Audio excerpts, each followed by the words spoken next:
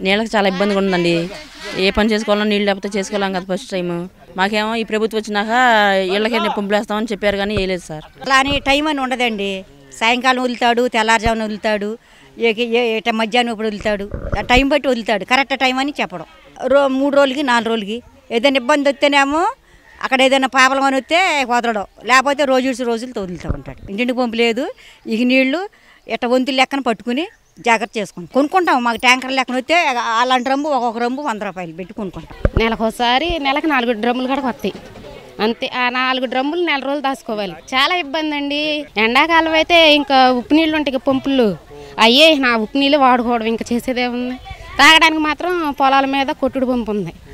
అయితే అలా డబ్బా తెచ్చుకుంటారు. ఇంటింటికి పంపు రావాలనే కదండి అందరూ కోరుకునేది. ఎంతమందిని అడిగామండి? ఎంతమంది వచ్చినా సరే ఇదిగో వచ్చేస్తుంది అదిగో వచ్చేస్తుంది అంటున్నారు. అందరూ చెప్తున్నారు కానీ చేసిన వాళ్ళు ఎవరు లేరు.